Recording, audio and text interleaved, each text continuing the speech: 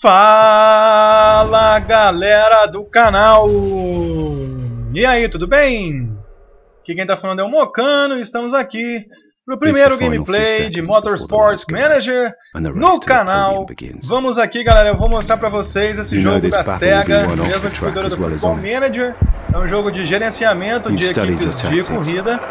E eu vou dar pra vocês as dicas aí pra você iniciar e aprender bem o game, beleza galera? Vamos então assistir aí o finalzinho da abertura e já ir direto pro game. Vamos lá! Your drivers focused, your team ready. The championship in the balance. First past the checkered flag, the goal. Epic victory or ultimate failure. There is only a heartbeat between them. Motorsport Manager. Take control.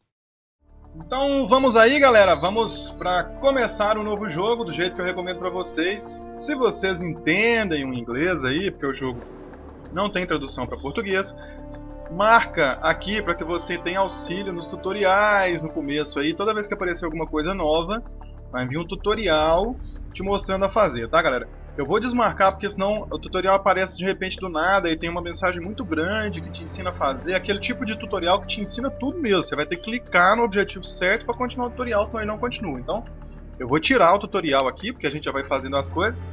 E como é para gravar, eu vou colocar o, a, o tempo das sessões, né? A duração das sessões, das corridas, vou colocar no curto, que seria de 12 a 20 voltas em média, tá? É legal jogar com o médio, porque o médio vai dar muita emoção. São 30, 40 voltas em média. Então quer dizer, isso quer dizer que vão ter pistas de 23 voltas, vão ter pistas de 40 voltas. Então, 40 também é meio difícil, mas eu ainda não, peguei, não tinha pego nenhum ainda não. Mas eu vou colocar no short para ficar as gravações mais curtas, tá? Porque meu objetivo nesse jogo é te ensinar as manhas aqui, o básico para você seguir depois. E deixo aqui no dólar mesmo, só tem dólar, euro ou libra esterlina e o formato dia, mês e ano como a gente está acostumado, não americano, mês, dia e ano, tá? É, autosave sempre bom, galera. É um, ele sempre vai salvar o dia seguinte à corrida. E ali na opção tem como você marcar para salvar três, criar três autosaves, tá? A galera que é acostumada com o FM aí sabe que a SEGA gosta disso. O autosave salva três passos diferentes porque aí ele acaba criando três backups para o seu save, tá? Então às vezes danificou um save, você volta no outro save que foi salvo logo anteriormente, você já continua a sua carreira lá. Vamos lá, continua. Vamos criar aqui o personagem, tá? Bem, bem personalizável. Deixa eu botar a datinha de nascimento aqui. 8 do 9 do 88, Mocano Place. Brasileiro, vamos lá, South America, South America. E aqui, galera, não vai mexer, você vai deixar depois no quadrinho aqui, tá? O backstory dele, tá? Como que você chegou até o mundo das corridas. É um ex-piloto que vai dar a moral de piloto para todos os seus pilotos vão ter moral mais 30 do que o normal. Ex-engenheiro que o o desenvolvimento de partes do carro vai demorar um dia a menos.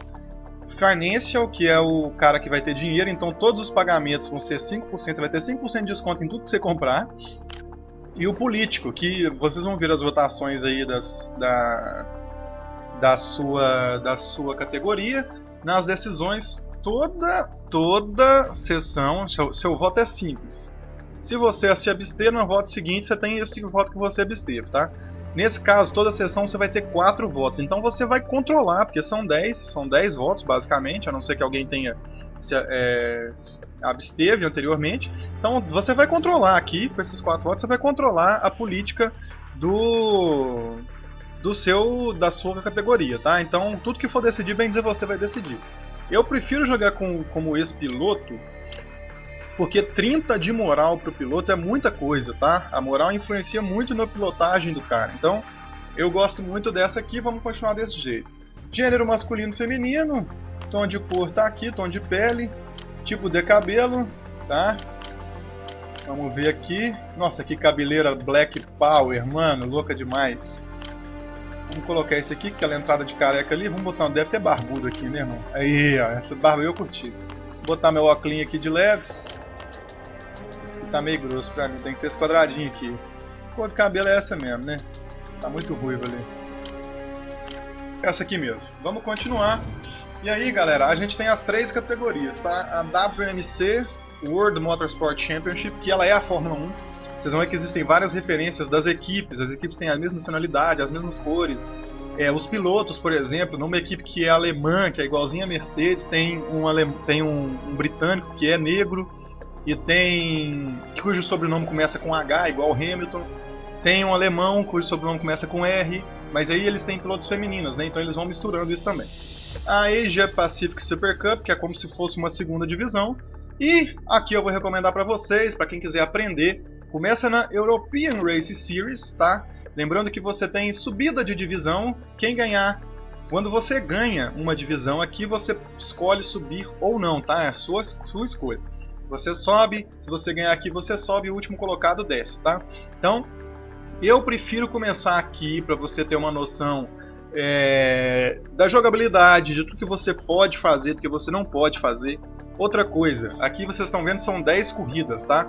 São seis localidades só, então são seis países, são seis pistas diferentes, porque algumas vão se repetir e nesse caso é, vão só mudar o traçado das pistas. Tem algumas pistas que só tem um traçado, mas a maioria consegue mudar. Vocês podem ver que aqui são 16 eventos em 16 locais diferentes, aqui são 11 em 9 locais diferentes. Tá? Nesse aqui são 10 em 6 locais diferentes. Então, até o tempo de viagem, essas coisas assim, vai favorecer bastante. O que, que são as, aqui a qualidade do campeonato? Você pode ver que é bem baixa, tá? É bem baixo mesmo a média de times, a média da qualidade do carro, a qualidade dos pilotos, a qualidade do HQ do time, a qualidade do staff do time, da equipe e a qualidade do, do patrocínio que a gente recebe.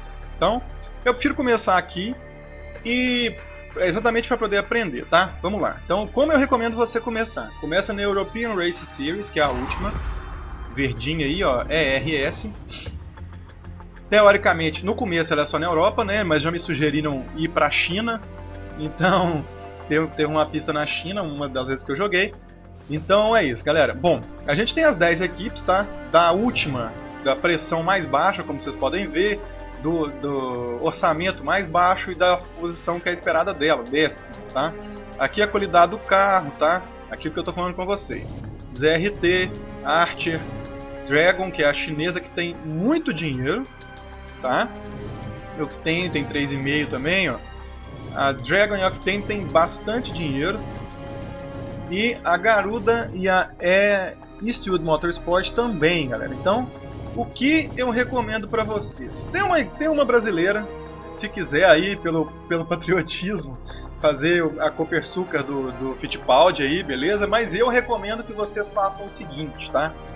Comece com a Garuda, que é a indiana, Garuda Racing, tá? Por que começar com ela? Ela tem no primeiro ano o melhor carro do campeonato, disparado, vai ser sempre o melhor carro. Ela tem no primeiro ano os melhores pilotos. E esses pilotos, um tem 39 e o outro tem 40 anos. Então, quando chegar no final da, da, da, Eles vão começar como os melhores, e quando chegar no final do campeonato, eles já vão estar vão tá quase sendo os piores pilotos do grid. E uma vantagem, galera. Eles se aposentam após a primeira temporada. Então você consegue reformular, reformular sua equipe de pilotos logo após a primeira temporada. Você consegue ganhar o campeonato, ganhar o campeonato de pilotos, ganhar o campeonato de montadoras e já trazer pilotos bons para ser seus dois primeiros pilotos, seus primeiros, seus primeiros, seus pilotos titulares, perdão, e seus pilotos reservas, tá? Então eu recomendo que vocês peguem isso. Ah, Mocano, mas a pressão é alta. Apesar disso tudo, é fácil conseguir o título na primeira temporada, tá? É, outra coisa, vocês estão vendo que aqui tá amarelinho? Isso aqui é só porque a gente não está tendo patrocinadores bons agora, mas ainda só tem um patrocinador que é a Deutsche Air, como vocês podem ver. Os outros patrocinadores vão aparecendo durante a temporada, tá? Então não se preocupa com isso. Vamos lá. Mas lembrando, a Octane também é uma empresa muito boa, uma equipe muito boa, dá para vocês seguirem com ela também. Eu recomendo essa equipe que eu achei mais tranquilo, porque é a melhor equipe do grid disparado. Então, você vai conseguir aí aprender o jogo e não passar aperto, pelo menos na primeira temporada você não vai passar aperto para ganhar, para poder desenvolver o carro, para nada, tá? Bom, galera, voltamos aí então para a tela inicial do jogo, tá? Aqui seus pilotos e suas classificações, seus, suas categorias, o seu carro, aqui a situação do seu emprego, tá, galera? É, aqui o carro, todos os status, né, como eu mostrei para vocês, o nosso carro é o melhor grid, a média é essa aqui de carros. Nosso, nossos pilotos são os melhores do grid, a média está aqui. Nosso HQ é o melhor de todos. Nosso staff é o melhor de todos. Só nossos patrocínios que não são bons, mas aqui ó, tem sete patrocínios para a gente decidir, tá? Vamos lá, a gente vai vendo aqui.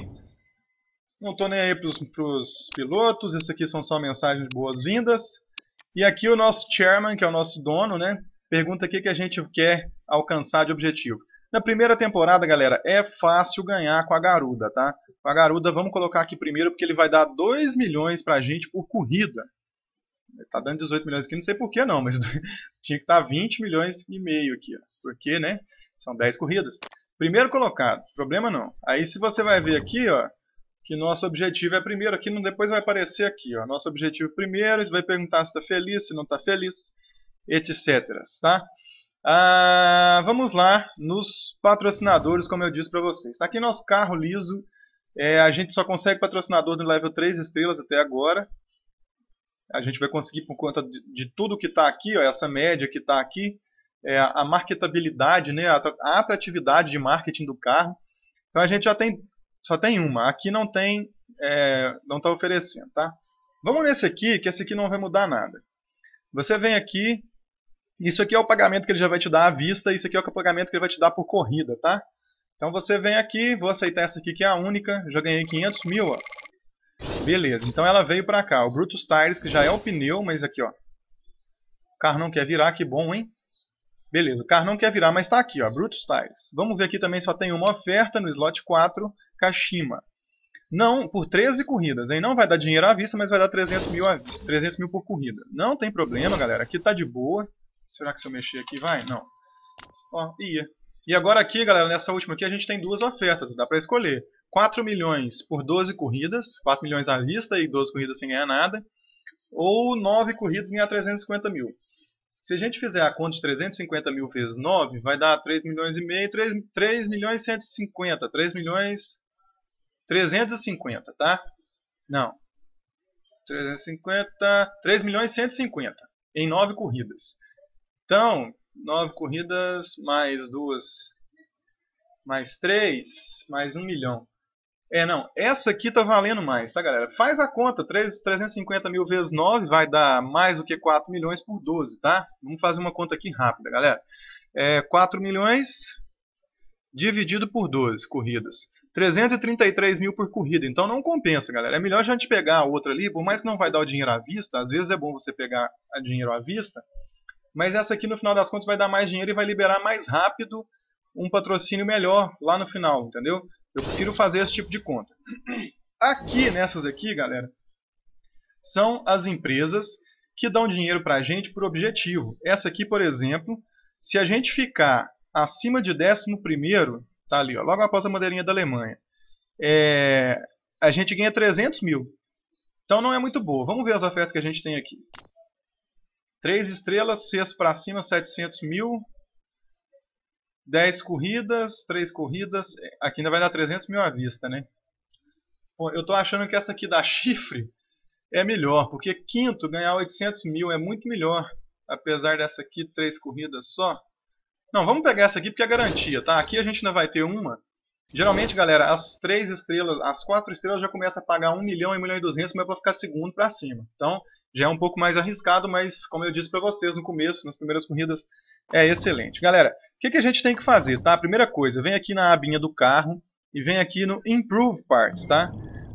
Todas essas informações aqui, ó, performance, essa aqui é a qualidade do seu, do seu, no caso, dos freios, tá? 207, 216 do motor, 150 da engine, do, da front wing, da asa, e 150 da asa também. Está escrito spec part, galera, porque essa parte é específica, ela é digamos, especial, tá? Todas as equipes têm a mesma asa dianteira e a mesma asa traseira.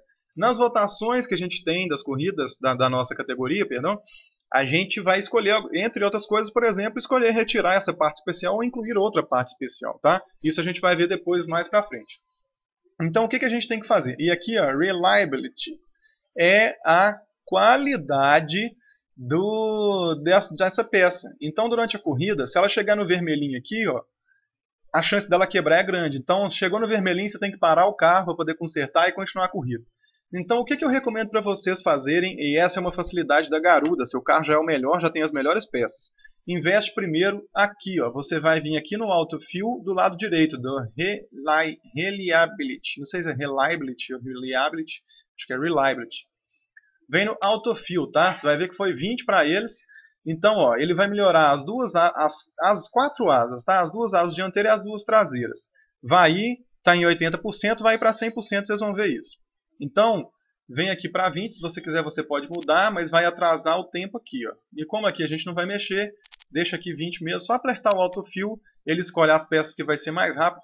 3 horas antes da próxima corrida, que é em 16 dias, que é essa aqui na, na, na Rússia, ele vai acabar essa melhoria, então a gente já vai chegar lá com duas partes já 100%, beleza galera? E o que, que eu vou recomendar para vocês já no começo também, tá? Você vem no Scouting aqui embaixo, o mouse aqui. Você vai pesquisar pilotos clicando aqui no nomezinho deles, tá?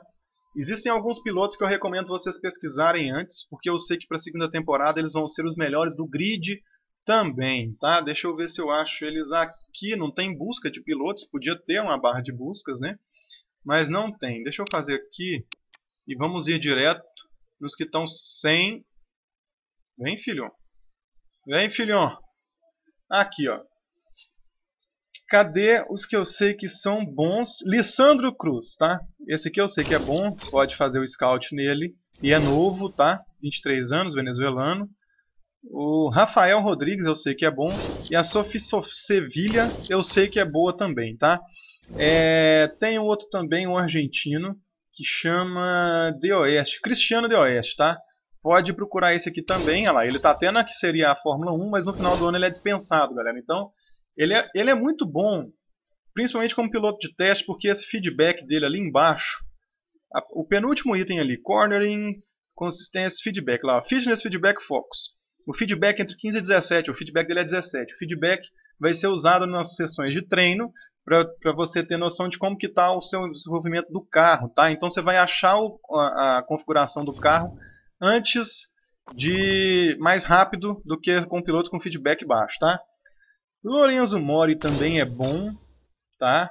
Mas, deixa eu ver aqui, existem outros dois. Deixa eu ver se eu consigo achá-los. Tem um britânico, aliás, tem uma mulher.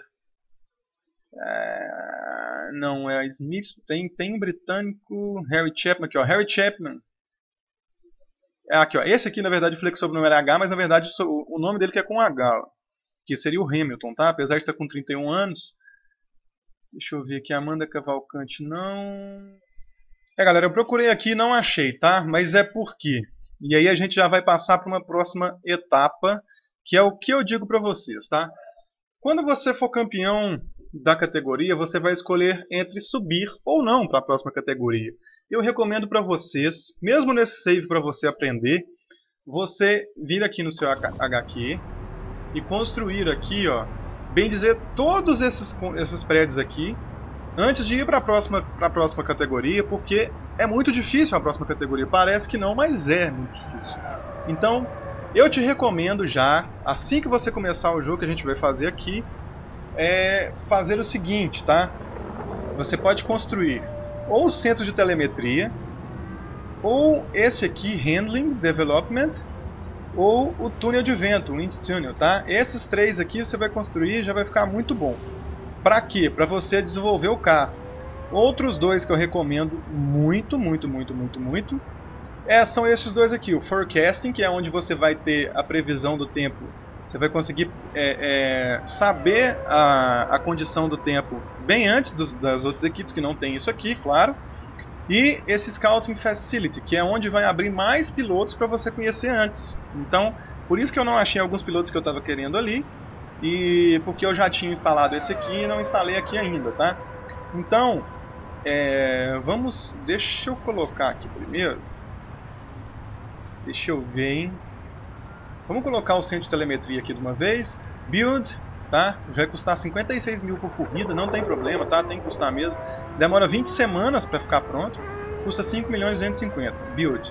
Você vai ver aqui, ó, nós estamos com 4 milhões e meio, mas ainda assim você tem a opção de confirmar, o seu patrão deixa construir, tá galera? Então, constrói aqui. Se você quiser dar um upgrade nas suas construções que já existem, a gente tem o centro de design, a fábrica, a, a pista de teste e o Staff Center, né, que é onde os nossos mecânicos, nossa, nossa, toda a nossa equipe fica alojada.